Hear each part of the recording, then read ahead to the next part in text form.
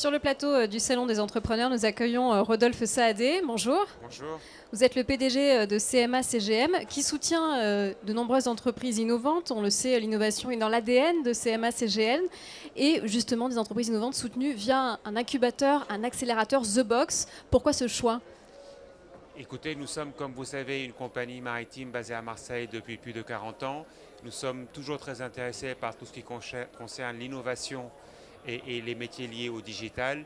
Et j'ai pensé que le moment était venu qu'on puisse se doter d'un incubateur qu'on a euh, baptisé The Box, euh, qui est installé pas trop loin de la tour CMA-CGM et qui donne la possibilité à une quinzaine de startups d'être dans un endroit euh, agréable pour pouvoir réfléchir, penser et venir avec des idées innovantes à la fois sur le secteur de la logistique, le secteur euh, des transports, euh, des innovations euh, qui peuvent servir à CMA-CGM, mais aussi à d'autres partenaires Bien sûr, nous avons également cinq membres fondateurs qui se sont joints à The Box et je suis ravi de les compter parmi nous. Mais c'est vrai qu'aujourd'hui, le, thème principal de The Box, c'est le transport et la logistique, mais pas que. Je souhaite également que The Box puisse se tourner vers d'autres activités, d'autres métiers que le transport et la logistique.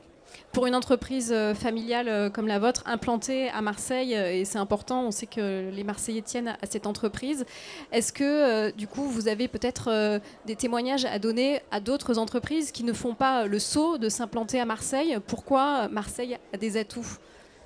Marseille a énormément d'atouts et au-delà du, du, site géographique, vous avez la mer, le soleil et tout ce qui va avec, il y a aussi euh, un tissu économique est en train de se développer. Le quartier Euroméditerranée où la tour CMA-CGM se trouve est en plein développement. Donc oui, j'encourage beaucoup les entreprises à venir voir ce qu'il y a à Marseille et de ne pas écouter tout ce qu'on dit sur Marseille. Le fameux Marseille bashing, bien sûr, dont on entend beaucoup parler. Absolument. Il y a beaucoup de positifs, il y a beaucoup de bonnes choses qui se passent à Marseille.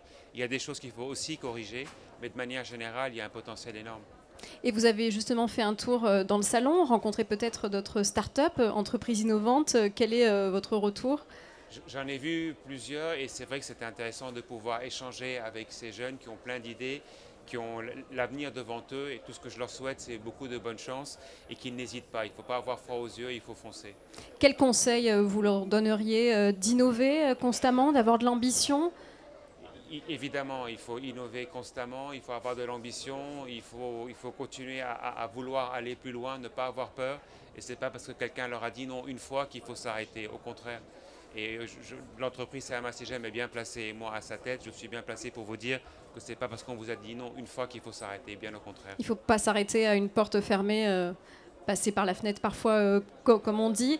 Est-ce que vous auriez un exemple peut-être euh, d'une des startups innovantes que vous soutenez actuellement, un projet qui vous tient à cœur, une innovation dont vous allez peut-être vous servir bientôt?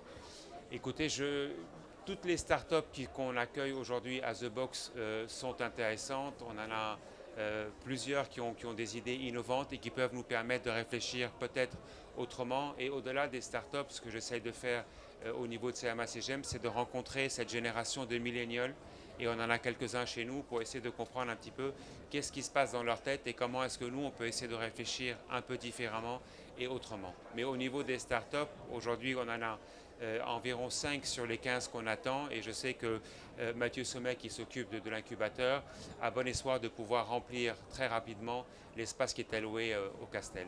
Et on leur souhaite bien sûr un, bel avenir. Merci beaucoup, Rodolphe Saadé, d'avoir été avec nous sur le plateau du Salon des entrepreneurs. Merci. Merci.